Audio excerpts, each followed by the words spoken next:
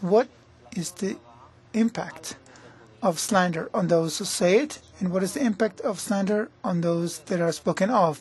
In other words, how slander affects those who say it and the ones that is talking about. As much as I learned the wisdom Kabbalah and I started studying it in 1975 or so, maybe 76, I never heard slander in the sense that it is explained ordinarily, religious or secular. Because there is no such thing. We don't need to correct our tongues. There's the covenant of the tongue, covenant of the light, covenant of the eye, but how can we stop ourselves from speaking badly if our heart is evil? And if our hearts feel good and, and aim well for others, how will we not speak well of them?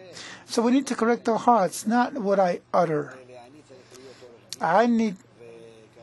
Do I need to be a, a, a a solicitor and so sophisticated so no one will be able to punish me, not even the creator? Yes, the more I can twist everyone, including the upper force. Uh, so I don't say a bad word without correcting the heart. How is that possible? So in the end, all these corrections bring the correction of the heart, the correction of the desire, the correction of human ego. That's why Kabbalah talks about correcting the desire.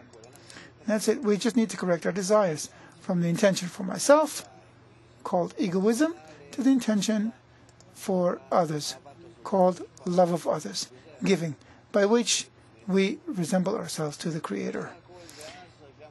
And then the slander and uh, all the prob- the other problems we have in our relationships, all of that will disappear. You don't need to worry so much about that. You need to worry about the correction of the heart. That's what we need. And the tongue will be corrected accordingly.